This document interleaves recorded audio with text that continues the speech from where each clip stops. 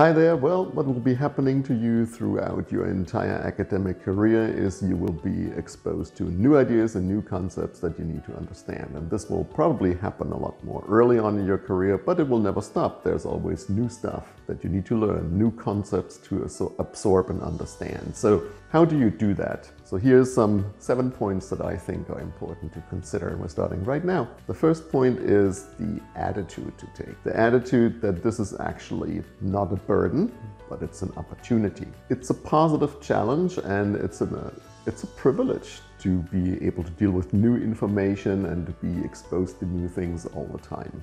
Basically, sometimes this attitude is also called the growth mindset, which means that you don't regard your ability as set basically forever by whatever uh, factors, but you think that you can always be better.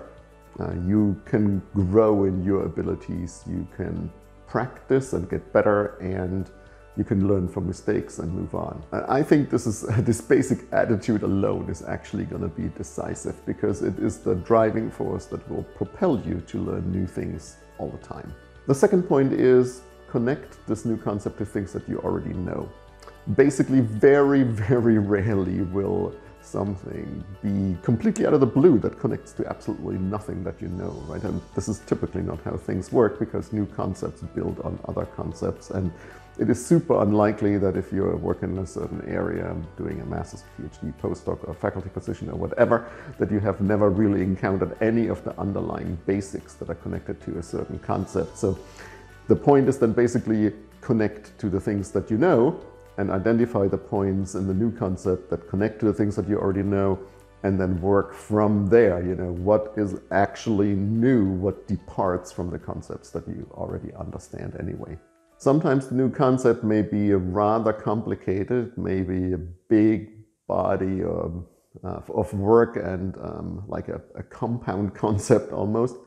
And in this case, it is going to be super handy to just break it down into its component parts and then work on those separately because maybe there's some of these that I already understand quite readily and maybe the problem is with some of these components and so you work on them more intensively and in the end when you put them all together you can basically understand the whole. The fourth, uh, this is important for me, is like the motivation. What is your motivation for knowing this? Typically, it's because you have a problem that you are very interested in and that you want to solve or you want to work on. And this is a concept that you need to understand in order to make progress in solving this particular problem that you're working on. And this is going to be very important because this presents the motivation uh, that propels you to actually invest the time and effort to understand a certain concept. When you know that you need this to address a certain issue that you're working on, then you will automatically be more motivated to do this.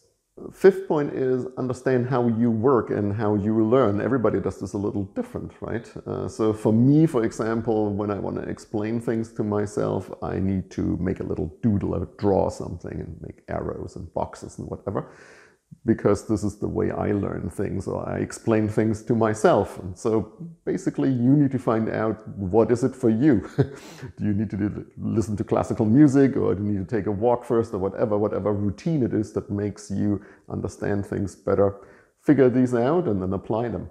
The sixth part is very, very important is, and it, it's because often there are bits and pieces in the concept that really are the obstacle to you understanding. In my case, it's usually formulas and math or something, but maybe something different for everybody. There's usually something in there that sort of holds you up and, and uh, holds you back, basically, from understanding a concept. Well, then it's very important to ask yourself and make the analysis, how important is it for me to understand absolutely everything in this concept, even like the formulas in there? And it, it may be that it is absolutely essential to understand everything because this is the direction your work is going. And then, of course, you cannot make a shortcut. But very often, very, very often, it is the case that you can actually focus on some other bits of this concept and you can basically black box, let's say the math or whatever it is, or the modeling or something that is um, not something that you're familiar with, or it can be also molecular work, or it can be taxonomic concepts or whatever. It is something different for everybody. The bits you don't understand and have immediate access to, maybe you can just black box them and say like, well, I'm going to take this for granted, and so how do I deal with this concept otherwise? Maybe this is the way to um, approach this new idea in a productive way. Basically, this means is a certain amount of working knowledge of this concept enough for me to move on? Do I, I sometimes call it like a comic book understanding. It's maybe not the best way of putting it, but you know, can I compartmentalize the things that are in this concept and can I abstract these things to a point and actually can work with them without having to understand like every little bit of the technical detail. And I think a lot of people do that.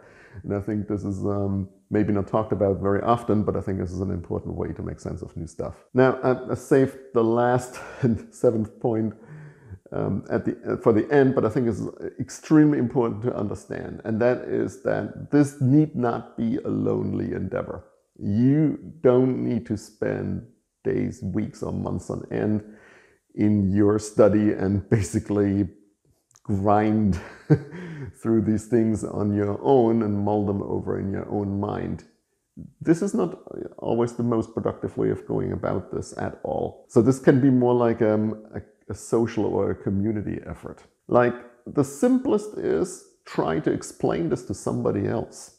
Sometimes when you're stuck on something, and then you talk to somebody else, and at least this is the way it is for me, and you explain this or try to explain this to somebody else, some something clicks.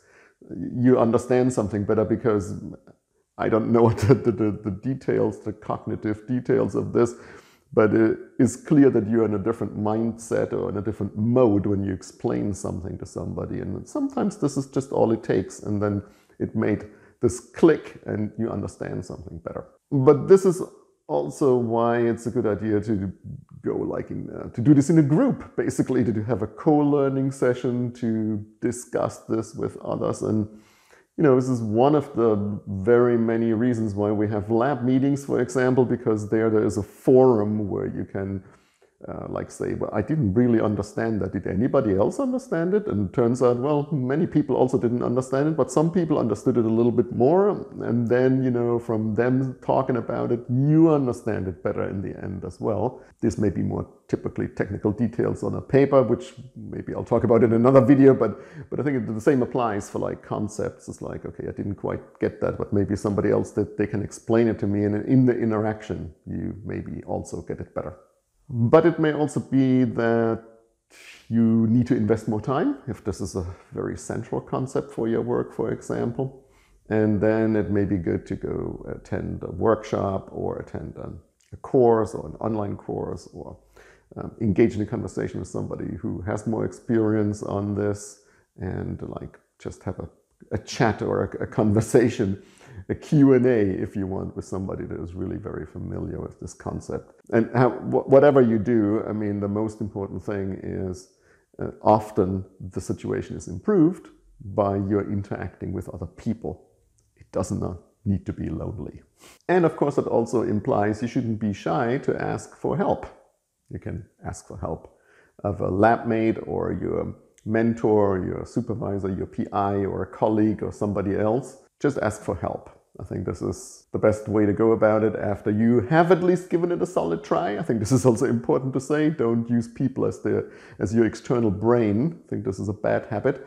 So think about it first, but then if you really are stuck and you can't go on, then obviously ask for help because you don't need to be alone in this. Right, I hope that uh, when you keep these seven things in mind, you'll be able to understand your next concept better. And because this is something that will always be accompanying you through your entire career, so it's important that you have worked out a mode on how to deal with new stuff. Because after all, this is what makes science so fun, is that we always deal with new things, that we're exposed to new stuff and can process that and work with it and build on it. This is basically a description of the scientific enterprise. So this is why it's so important to have this worked out for something as central as how do I deal with new uh, concepts that I don't immediately understand. And with that, thanks for watching. See you in the next video. Bye.